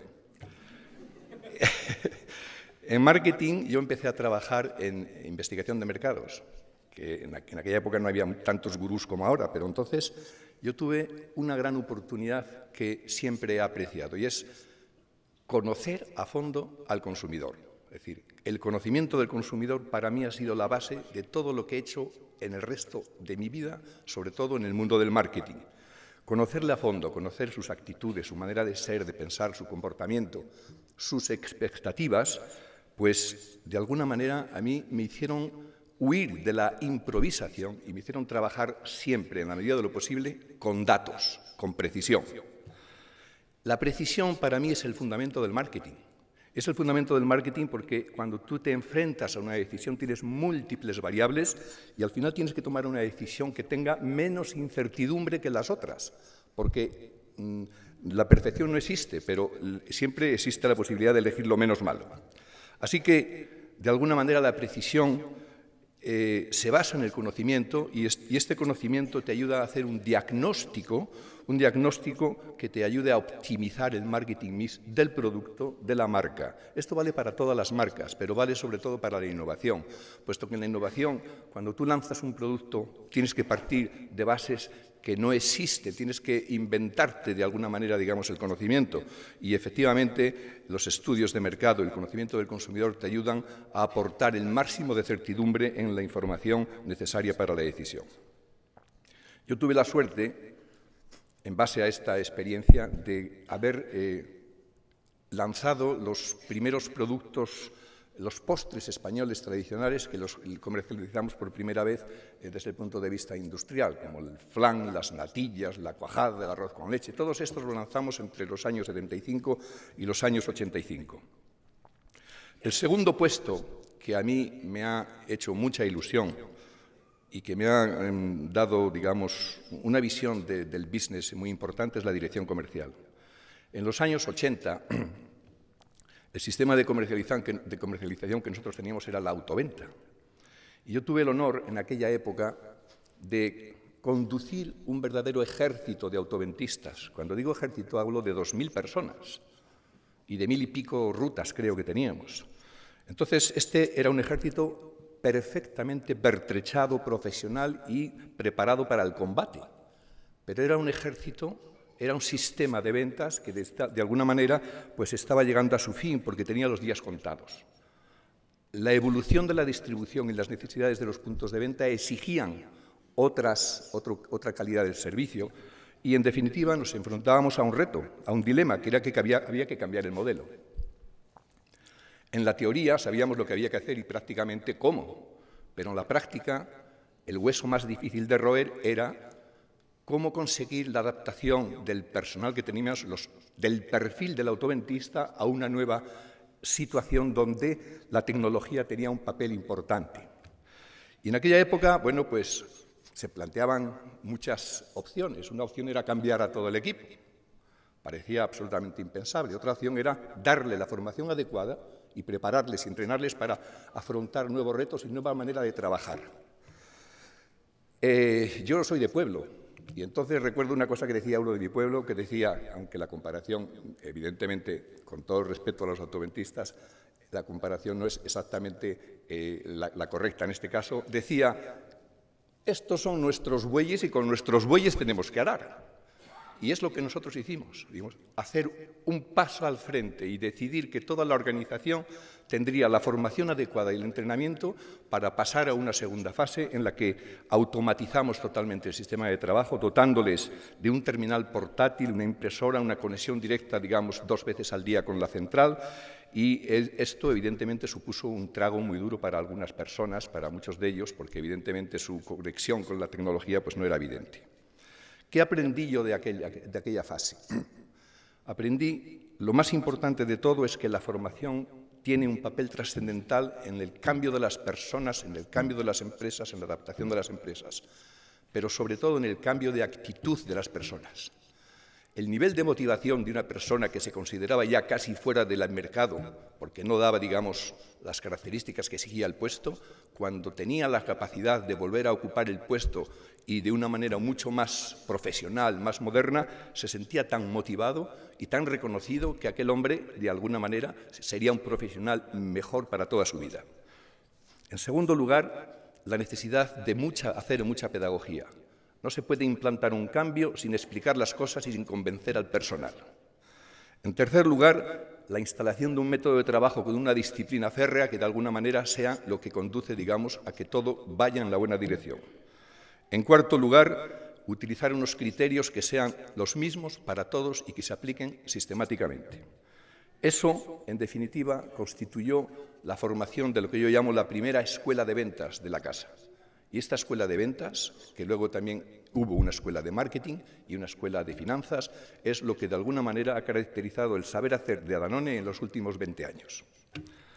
El tercer paso fue la dirección general. Entonces, en este tema, pues comentaros que cuando yo era director de departamento comercial, y entonces cuando eres director de un departamento, ves el mundo con el color de tu función crees que eres el ombligo del mundo, que eres lo más importante, que lo demás está supeditado a lo tuyo, y de alguna manera pues terminas con refriegas, con enfrentamientos, con conflictos y con guerras tribales con todos tus vecinos. Cuando eso ocurre, efectivamente la organización tiende a disgregarse y a perder el rumbo. Cuando a mí me hicieron director general, yo me di cuenta de lo inútiles que son las guerras tribales y los conflictos entre vecinos. Tan sencillo como que lo importante es la cohesión del equipo, la unidad de trabajo y eso pasaba por implantar o imponer o convencer de tener un management participativo en el que había, para empezar, libertad de expresión, que no solo es un tema que dicen los políticos, sino libertad de expresión, cada uno decir y aportar realmente todas sus, eh, todas sus ideas. En segundo lugar, la búsqueda de una cohesión y una unidad de acción para remar todos juntos y, de alguna manera, garantizar el compromiso. Un eh, equipo de dirección, un comité de dirección, no es el Parlamento. No se decide por la mayoría de votos, pero tampoco es un cuartel donde el ordeno y mando no es la manera de gestionar. Lo que yo he aprendido en esa fase es que no se gobierna por decreto, se gobierna por convicción, por lealtad, por complicidad, por alineamiento y, de alguna manera, por compromiso. Y esto es lo que yo entendí, puse en marcha y, en la medida de lo posible, creo que empezó a funcionar. El criterio era los conflictos bilaterales se resuelven bilateralmente antes de entrar en el comité. Y el comité de empresa se dedica a construir, a elaborar, a desarrollar y a emprender. Trabajando en equipo, evidentemente con equipos muy potentes que yo he tenido la suerte de tener. He tenido verdaderos cracks, de gente muy preparada, pero huyendo siempre de la idea de mirlos blancos, porque yo creo que los mirlos blancos no existen y en las empresas menos. Ni existen, ni son necesarios, ni los queremos. Tampoco las primas donas. Lo que necesitamos es gente normal de a pie. Gente que trata no de alcanzar la perfección, porque no existe, pero sí de buscar la excelencia en lo que hace. No queremos héroes, queremos gente que de alguna manera vive la empresa como algo propio. Al final de la vida yo creo que lo que buscamos todos, y para mí es importante, y si no es así, no es compatible, es buenos profesionales, pero también buena gente. Gente que vive los valores, no que los predica, que los vive y que los aplica, y que tiene valores concretos basados en la integridad, en la responsabilidad, en el trabajo, en el esfuerzo, en la transparencia y en la proximidad. Lo importante en la vida para mí son las personas. Y gracias a este, entiendo yo, a este equipo que yo he tenido la suerte de dirigir estos últimos años, hemos constituido una escuela en la casa que ha aportado al grupo Danone en el mundo hasta 90 profesionales de cualidad, de alta, de alta capacidad directiva en estos últimos 15 años. En este momento existen por el mundo, hasta en 15 países distintos que van desde Turquía hasta, hasta Argentina o, otros muchos países más o menos exóticos, 15 países, 5, 6 o 8 directores generales y otros 20 o 30 directores de departamento. Y esto, evidentemente, para mí es lo que más satisfacción me ha dado en toda mi vida. Bueno, quiero terminar y decir, para terminar, algunas reflexiones personales que a mí me han, de alguna manera, ayudado en la vida. No hay recetas, sé que quede claro, pero las reflexiones siempre ayudan a pensar. La primera es que cada empresa puede y debe ser una escuela y si no la tiene, la debería crear. La segunda es que en la vida personal y en la vida de la empresa es bueno ir siempre en línea recta. La tercera es que al final del camino aprendes que solo lo ético es pragmático y que los senderos y los apaños suelen ser tortuosos y conducen al abismo. La cuarta es que más que predicar, lo que más cuenta es el ejemplo personal. Y la quinta es que siempre se puede aprender y siempre se puede mejorar. Muchas gracias.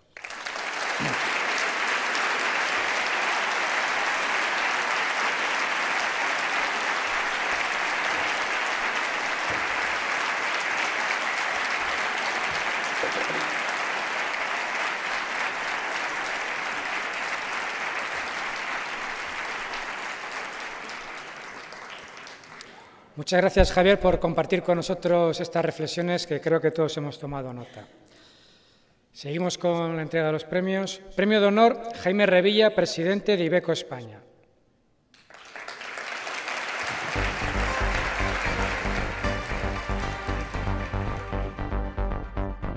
Premio de honor, Jaime Revilla, presidente y consejero delegado de Ibeco España y Portugal.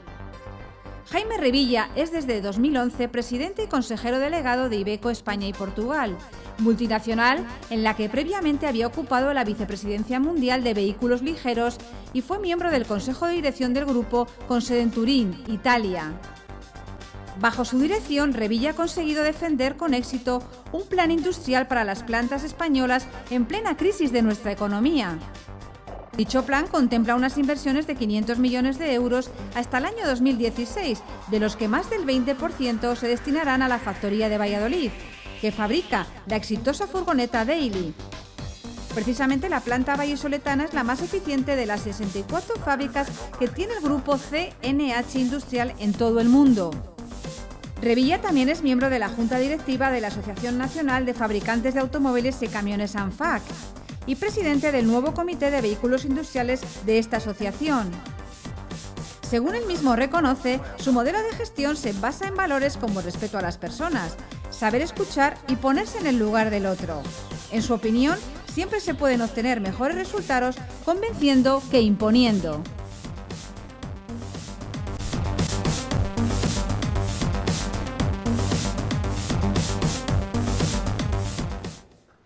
Entrega el premio Tomás Villanueva, consejero de Economía y Empleo de la Junta de Castilla y León, y lo recoge Jaime Revilla, presidente de Ibeco España.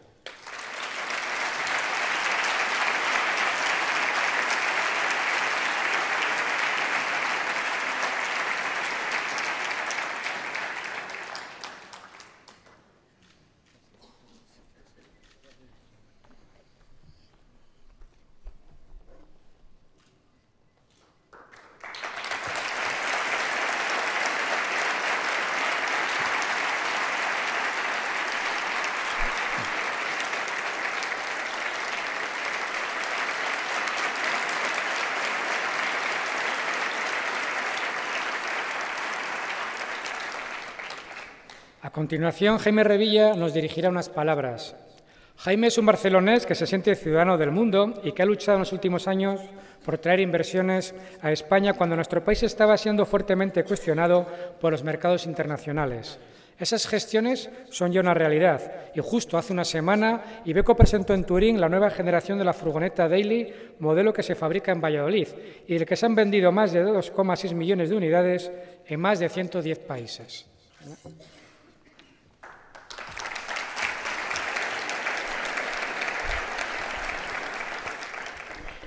Excelentísimo consejero de Economía de la Junta de Castilla, autoridades, empresarios, directivos, señoras y señores, buenas tardes a todos.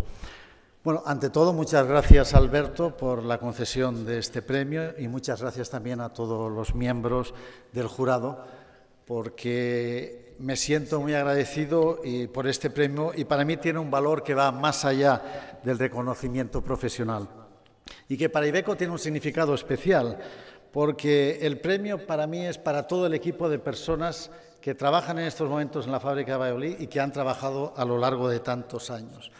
Pero también es un premio que recojo en nombre de todas las personas que durante tantos años, a lo largo de ya mi dilatada vida profesional, me han acompañado y me han ayudado y entre todos hemos conseguido construir lo que Ibeco hoy es en España, una realidad industrial sólida y eficiente. Para mí, además, tiene un valor sentimental Valladolid, porque yo empecé aquí mi carrera profesional en Valladolid. Yo era muy joven, acababa de acabar la carrera de ingenieros, estaba en Barcelona, soy catalán, no ejerzo de catalán, pero soy catalán.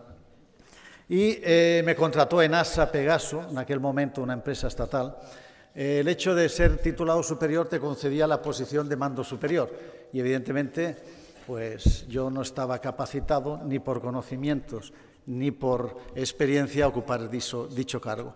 alguien de NASA se le ocurrió que dado que habíamos comprado hacía poco eh, a Saba, no sé si recordarán ustedes que la fábrica de Valladolid antes de ser Pegaso fue Saba y posteriormente Ibeco, pues eh, podían enviar a este joven para que pudiera aprender algo en Valladolid y pudiera volver a Barcelona ocupando un cargo que tuviera ese nivel. Yo llegué aquí muy joven, con apenas 23 años, mm, con la ilusión y la fuerza que da la juventud, pero no conocía nada del negocio. Aquí conocí a grandes profesionales que me enseñaron muchísimas cosas, tanto desde el punto de vista humano como profesional. Y también hice muchísimos amigos. Aquí eh, conocí muchas cosas. Por ejemplo, aprendí que esto no era como Barcelona, en donde yo cuando salía con mis amigos me tomaba una Coca-Cola, me sentaba en un bar y estaba tres horas. Aquí no. Aquí salía con un amigo y me llevaba 10, 12 bares de pie, no me podía sentar, me metía 10, 12 vinos que no estaba acostumbrado y llegaba mareadísimo al hotel. Total que dije, bueno, esto tendré que gestionarlo de mejor manera. Aprendí, ahora sin ningún tipo de ironía, que la tierra tenía muchas virtudes, que yo empezaba con un amigo y acababa con 10 o 12 al cabo de dos o tres horas. Me había tomado 10 12 culitos porque aprendí que los tenía que dejar si no llegaba mal. Y también aprendí que el vino de esta tierra era un gran vino, era bueno. No tenía en aquel momento la denominación de origen que tiene ahora Ribera del Duero, que era tan bueno como el de ahora, pero muchísimo más barato. Eso no se lo digan a nadie. Al señor de Matarromera no se lo digamos. Cuando llegué a Valladolid, la planta, como ya he dicho antes, no era de Ibeco, era de Pegaso y anteriormente había sido de Saba. Yo lo que sí les puedo decir es que pasamos muchísimas vicisitudes. En numerosas ocasiones la fábrica estuvo a punto de ser cerrada, pero el castellano es duro y resiste. Al final, en el año 90 nos compró Ibeco y conseguimos convencer a Ibeco de hacer una gran apuesta de futuro y una gran inversión en esta tierra y en esta fábrica. Y empezamos a construir la gama Daily. La gama Daily que seguimos produciendo después de numerosas eh, evoluciones y generaciones hasta el día de hoy con éxito. Yo lo que quiero decir es que muchas generaciones han trabajado en estas instalaciones de Valladolid, que hoy, como hemos dicho, es la más eficiente de las 64 fábricas que el grupo CNH Industrial tiene en todo el mundo. lo que yo creo que dice muchísimo de la calidad humana, de la profesionalidad y la motivación de la gente de esta tierra, que es gente, concuerdo, sincera. Yo no soy de esta tierra, pero he vivido con muchos y tengo muchos amigos. Gente sincera, honesta y trabajadora. La planta de Valladolid actualmente exporta el 91% de su producción y contribuye a que España sea el primer fabricante de vehículos industriales de Europa. Yo, antes de incorporarme a mi posición actual, como ha dicho Alberto, fui vicepresidente y miembro del Consejo de Dirección de Ibeco durante seis años y dediqué mi vida a la consolidación desarrollo de la gama Daily en todo el mundo. Fue la base de mi trabajo en Turín durante seis años y por eso para mí este vehículo tiene como para esta ciudad un significado muy especial. No fue fácil para un español dirigir a un equipo un español, imagínense, Europa del Sur, a un equipo de extranjeros en un país extranjero y en lenguas extranjeras. Pero yo apliqué los principios que he aprendido de pequeño, que aprendí con mi familia y que aprendí en mis 12 años que estudié en los jesuitas. Apliqué valores sencillos, pero por ser sencillos no son banales. Y yo creo que los jóvenes directivos de actuales valdría la pena que hicieran una reflexión. Yo estoy totalmente alineado con lo que ha dicho el presidente Danone. Creo que de cierta manera me ha pisado un poco el discurso, pero como él iba primero, no me lo había dicho, pues ahí estamos.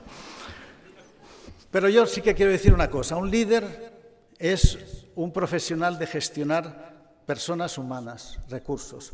Y digo personas humanas porque ahí está la clave. La clave de un líder, en mi opinión, en mi, eh, modelo, es gestionar a personas y considerarlas como humanas, personas humanas, independientemente del nivel jerárquico que puedan tener en la empresa. Eso es clave. Segundo, que también lo ha dicho el presidente Danone, es escuchar. Yo he estado con muchos vendedores comerciales que hablan. Y yo les digo, no, no habláis, escuchar. Porque lo que tienes es que escuchar para entender. Escuchar es una virtud sencilla que no todos los líderes aplican y que es fundamental. Hay que escuchar a tus colaboradores y a todas las personas que trabajan contigo, porque eso es lo que da valor añadido. Y luego hay que saber respetar y valorar las opiniones. Lo que no puedes es escuchar y luego destruir, aunque no estés de acuerdo y no vayas a aplicar sus opiniones. Pero eso hace que las personas se sientan más involucradas, respetar. Luego, un punto muy importante es cuando se negocia o cuando se... es intentarse sentar en la silla del que tienes delante, porque es la única forma de poder entender qué es lo que quiere, comprender sus opiniones, sus necesidades, y esa es la única forma de llegar a acuerdos, sentarse en la silla al lado y comprender lo que, la posición del que tienes delante. Totalmente de acuerdo, nunca hay que convencer, hay no hay que, hay que convencer, nunca imponer.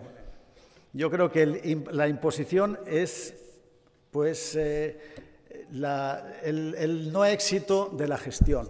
Yo lo comparo como la cirugía con la medicina. La cirugía es el fracaso de la medicina.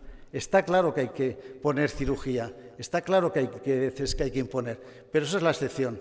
La regla debe ser convencer, porque cuando convences convences y envuelves a las personas y las haces partícipe de tu proyecto. Y luego una cosa muy sencilla, rodearse de los mejores, que no es sencillo, pero eso es clave. Yo creo que una posición de liderazgo es la suma de muchos valores, algo especialmente importante en una sociedad como la actual que parece que estamos perdiendo muchos de esos valores. Yo pienso que Castilla y León es una tierra de historia, de arte, de campo y de vino pero también es una tierra de automoción. Este sector es clave para la riqueza y el empleo. En esta comunidad supone el 25% del Producto Interior Bruto industrial y es el 15% de la producción de vehículos en España. La industria está siendo fundamental para que España se recupere tras la profunda crisis que todavía estamos atravesando. Y reindustrializar es la clave del futuro de este país. En este sentido, Ibeco fue eh, la primera multinacional que apostó por este país en el año 2011, cuando no sabíamos si el euro iba a seguir o no iba a seguir, no apostaba nadie por el futuro. Ibeco presentó un plan industrial y aquí estamos. Apostamos por España los españoles, porque yo creo en España y en los españoles. Y eso es lo primero que hay que creer. Hay que creer en uno mismo. ¿Y por qué eh, invertimos en España? ¿Y por qué todas las multinacionales están invirtiendo en España? No hay casualidades. Debe haber algo, ¿no? Algo debemos de tener positivo. Bueno, lo primero que es positivo es que, y me voy a cifrar en Valladolid, para no generalizar, pero es generalizable, es que tenemos unas instalaciones eficientes. Nosotros hemos estado haciendo los deberes durante la crisis y durante la no crisis. Nunca nos hemos parado, hemos trabajado, nunca nos hemos conformado. El futuro se hace día a día, el futuro no está escrito. Yo digo siempre a mi gente que aunque tengamos un plan industrial, nada quiere decir. El futuro lo hemos de conseguir y obtener cada día con nuestro trabajo y nuestros resultados. Las instalaciones, segundo, muy importante, tenemos una mano de obra cualificada y altamente competitiva. Y cuando digo altamente competitiva me refiero a que nosotros nunca seremos un país low cost, sería un gravísimo error. España no será un low cost, esos serán países del este, China, India, etc. Nosotros hemos de competir con nuestras armas y nuestras armas son que somos el país de los Europa desarrollada que mejor coste laboral tiene. Y eso es un valor, y ese valor lo valoran todas las multinacionales y por eso y por otros motivos estamos aquí. Y luego hay un punto muy importante. En este país y en, y en esta ciudad tenemos sintonía con los sindicatos. Nos peleamos, nos reñimos, discutimos, pero estamos en sintonía. Y eso ha producido que consigamos firmar convenios con altísimas flexibilidades. Y yo lo que digo siempre a los sindicatos es que han sido inteligentes y se han dado cuenta, mucho antes que sus colegas extranjeros, de dónde estaban las claves del futuro de automoción. Y ahí estamos. Después del convenio que firmamos nosotros, lo firmó Renault y luego los, los fabricantes sucesivos. Y esto ha sido otro motivo importante. Hay más motivos, obviamente.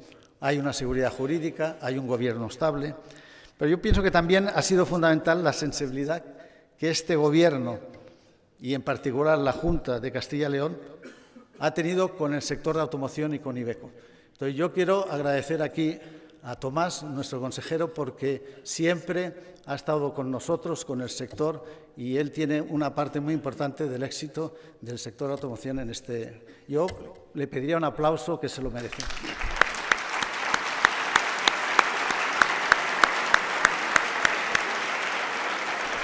Gracias, Tomás.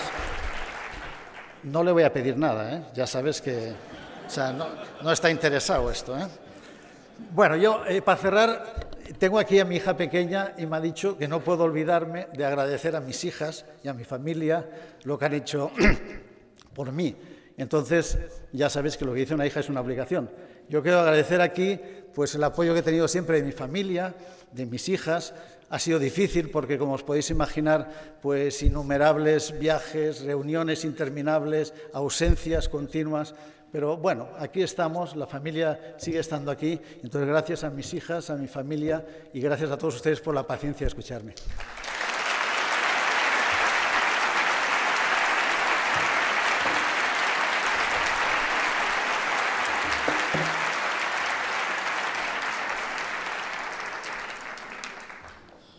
Muchas gracias por tus palabras, Jaime. Para clausurar el acto, contamos con la presencia de Tomás Villanueva, consejero de Economía y Empleo, a quien quiero agradecer su apoyo con su presencia a todos los premios y eventos que organiza Castilla y León Económica para poner en valor la labor de los empresarios y los directivos. Tomás, cuando quieras.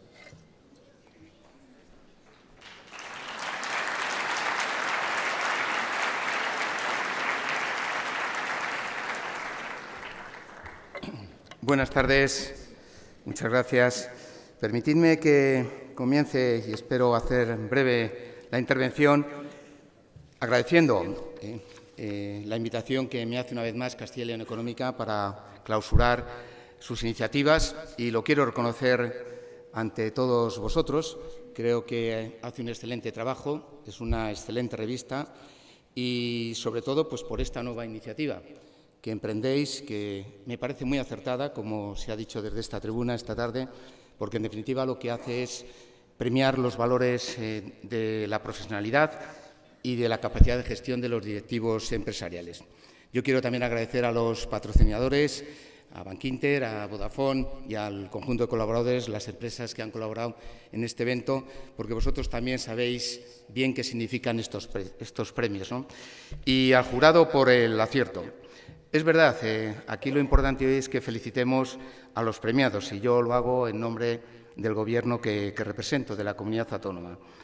Pero me gustaría, y no lo voy a hacer porque creo que hemos tenido una reseña, una referencia eh, con detalle de cada uno de ellos. Yo tengo la suerte, de, por mi responsabilidad, de conocer prácticamente a la totalidad y os podría pues, hacer la valoración desde el lado de cómo se ve desde lo público a estas personas que son ejecutivos de compañías que yo creo que el denominador común es que evidentemente defienden a sus compañías, sin ninguna duda su obligación y además lo hacen a plena satisfacción, pero con independencia de que sean de León, sean de Palencia, sean de Cataluña, sean de, cualquier parte, es que son españoles y están defendiendo en estos momentos a este país, haciéndole competitivo. Y eso es lo importante. Tenido hoy por hacer la referencia a quien decía que que me aplaudierais pues muchas tardes de trabajo en el Ministerio y en, la Consejería. Y es verdad, lo que uno siente es que un catalán está defendiendo la industria de su país, lo hace desde Turín, lo hace desde Madrid, lo hace desde cualquier punto. Y eso es lo que desde este lado pues nosotros valoramos mucho. Bueno, estáis, habéis recibido un premio que le estrenáis, estrenáis convocatoria y además representáis a multinacionales que están ancladas ya desde hace muchos años en nuestro país, en nuestra tierra, a empresas familiares que habéis crecido en el mundo, sin olvidar vuestras raíces, a grandes marcas nacionales y a pymes regionales, todos de sectores tan diversos como los que aquí hemos conocido, la automoción, el agroalimentario, la ingeniería, la salud, etc. Sois, sin duda, un exponente claro de la estructura productiva de nuestra región que junto a vosotros se ha diversificado y se ha hecho mucho más competitiva en los últimos años. Esta es sin duda una iniciativa que viene a poner en valor uno de los pilares de cualquier empresa, su capital humano. En definitiva, las personas que son los responsables que toman las decisiones, los que aportan el conocimiento al proyecto, los que trabajan por la competitividad diaria de sus empresas y de los que en muchos casos depende el éxito en la dura tarea de competir y conseguir nueva carga de trabajo en contratación con otras, eh, en confrontación con otras plantas de los grupos o con países cuya estructura económica y de costes plantea un reto que debe ser ganado a través de la productividad.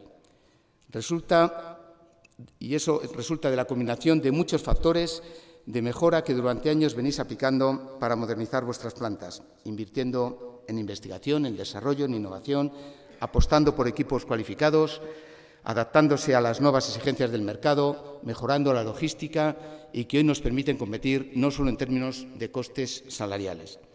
Por ello, la primera idea que quiero resaltar es la importancia que hoy tienen las estructuras directivas de las empresas y la gran apuesta de profesionalización que habéis hecho, no solo las empresas multinacionales, sino también las pymes. Y destacaría que de manera ejemplar esas estructuras de empresa familiar donde habéis sido y sabido incorporar a las nuevas generaciones, unas, por cierto, de las mejores formadas en nuestra historia, y habéis sabido también separar propiedad y gestión para afrontar con éxito los retos y las exigencias del momento actual. Y permitidme en este punto que haga una, aunque breve, valoración de la situación económica actual. Afrontamos, por fin, yo creo que la esperada y ansiada recuperación y ya estamos comenzando a salir de una larga crisis de casi siete años. El camino ha sido duro, está siendo duro, y muchos son los sacrificios con los que ha habido que acompañarlo. Pero hoy, con cierto optimismo, aunque también sin ningún triunfalismo, empezamos a ver algunos frutos. El crecimiento económico positivo se mantiene en incrementos del PIB durante ya tres trimestres consecutivos y además con una tendencia creciente, Tendencia, además, que parece va a seguir consolidada en los próximos meses y solo recordar aquí que los organismos de referencia fijan el crecimiento en Castilla y León para este año 2014 en torno al 1,3% y elevan esas previsiones a casi el 1,9% para el próximo año. A este crecimiento está contribuyendo de forma decidida el sector exterior, liderado también hoy por España en el conjunto de la Unión Europea.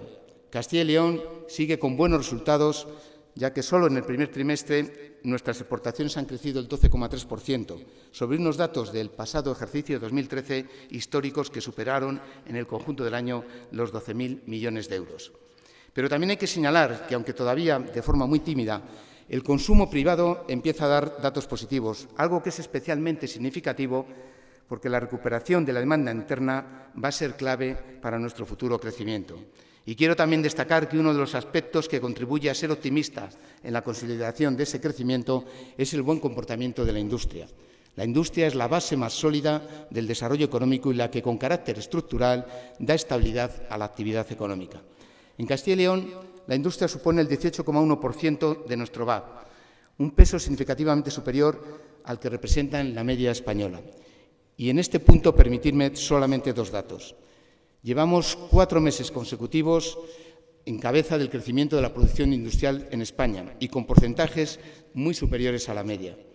Poniendo en relación este sector con el comportamiento del sector exterior, señalar que no solo está contribuyendo decididamente al incremento de las exportaciones, sino que también está haciendo crecer las importaciones, en concreto de bienes de equipo.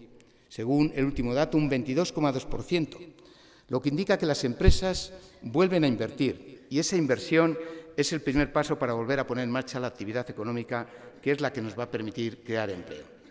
Los datos de la evolución del mercado laboral son esperanzadores, a pesar de que todavía tenemos 227.000 castellanos y leoneses que no cuentan con un empleo.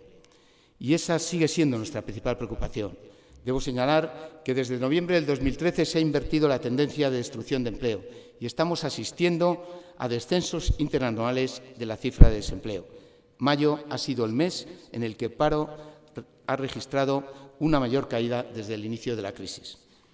En mayo del pasado año, la cifra interanual nos daba una cifra de 14.700 desempleados más. Este mayo nos ha dejado el dato de 16.705 menos en el desempleo. Y en términos de afiliación, como dato más objetivo, tenemos que hablar de cuatro meses consecutivos de incrementos de afiliados, que ha supuesto 17.813 nuevas afiliaciones. Estos son los datos, datos que surgen de algunos factores que me gustaría destacar porque son los que creo que están haciendo esto posible. En primer lugar, porque fuimos entre todos capaces de dar estabilidad al proyecto europeo. Se ha conseguido recuperar la confianza en el euro y se están tomando decisiones que confirman el proyecto europeo y que desde ese punto de vista, desde el punto de vista financiero, suponen la creación de un supervisor, como se ha dicho esta tarde aquí, bancario, de la Unión Bancaria, único bancario, y de un único modelo de intervención para resolución de crisis. En definitiva, supone poner los medios para que no se vuelva a repetir lo que ha ocurrido en el ámbito de las entidades financieras durante esta crisis es decir, la fragmentación del mercado y la pérdida de confianza de los inversores. En segundo lugar, la estabilidad de la economía española y la recuperación de la senda del crecimiento económico. Hemos aplicado rigurosas medidas de consolidación fiscal para controlar el déficit público. Es verdad que para ello ha habido que tomar decisiones duras en todos los ámbitos de la sociedad, familias, personales y empresas. Pero el control de ese déficit y la implementación de una serie de reformas, como la laboral, la unidad del mercado o la reestructuración del sistema bancario, nos han permitido flexibilizar nuestra economía y dotarla de competitividad. Uno de los indicadores más recientes, más significativos, puede ser la reducción de la prima de riesgos, a mínimos históricos desde el inicio de la crisis, situándola hoy en torno a los 125 puntos básicos. Estabilidad en Europa y recuperación de la competitividad de la economía española. ¿Y ahora qué? ¿Cómo va a evolucionar todo esto? Necesitamos, sin ninguna duda, recuperar también la demanda interna, el consumo, para generar más actividad económica y poder conseguir empleo. Para ello es necesario tener más renta disponible para invertir y esa renta se va a ir generando en la medida en que la economía se está desapalancando. Familias, empresas y administraciones públicas están reduciendo de forma importante sus niveles de endeudamiento y ya hoy estamos en tasas positivas de ahorro. Un buen exponente es nuestro saldo positivo de la balanza de pagos por cuenta corriente, que no significa otra cosa más que hoy tenemos capacidad para financiarnos con nuestra actividad económica sin recurrir a la financiación del exterior. La caída de la prima de riesgo abarata nuestros costes financieros como país y lo que hoy queda es que ese menor coste llegue y se traslade también a la financiación de la economía real. El sistema financiero que ha completado su reestructuración es hoy solvente y, lo más importante, tiene liquidez y ahora debe conseguir, debe hacer que ésta llegue a las familias y a las empresas y que además lo haga en un coste o a un coste razonable. Y esto es precisamente lo que acaba de impulsar el Banco Central Europeo hace solo unos días, rebajando el tipo de interés de referencia a un mínimo histórico del 0,15% y poniendo por primera vez una tasa negativa de menos 0,10% a los depósitos de las entidades bancarias. Voy concluyendo. Hay que completar el proceso de ajuste fiscal y la agenda de reformas, pero las bases para el crecimiento, en mi opinión, están puestas. Tenemos una economía que vuelve a generar confianza en los mercados internacionales. Los empresarios habéis hecho un gran esfuerzo importante de ajuste y de reorientación de vuestros proyectos empresariales, ganando dimensión, saliendo a mercados internacionales y apostando por la innovación como medida de especialización. Y necesitamos que el renovado sistema financiero apueste por la financiación del sistema productivo. Y vosotros, los empresarios, y de forma muy especial los directivos, sois los que con estos instrumentos vais a construir los nuevos proyectos, las nuevas inversiones y, sin ninguna duda, el crecimiento económico. Por lo tanto, reitero con mi reconocimiento a vuestra labor, la enhorabuena a todos los premiados y os traslado la responsabilidad que quiero compartir con vosotros de trabajar para hacer realidad la consolidación de esta recuperación. Muchas gracias.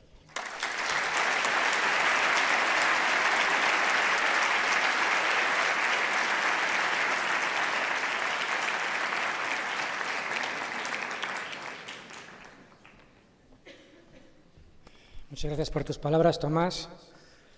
Con este discurso damos por concluido el acto de la entrega de los primeros premios Castilla y León Económica al mejor directivo de Castilla y León. A continuación, están ustedes invitados a un vino español en la entrada de la Feria de Valladolid. Muchas gracias por vuestra asistencia.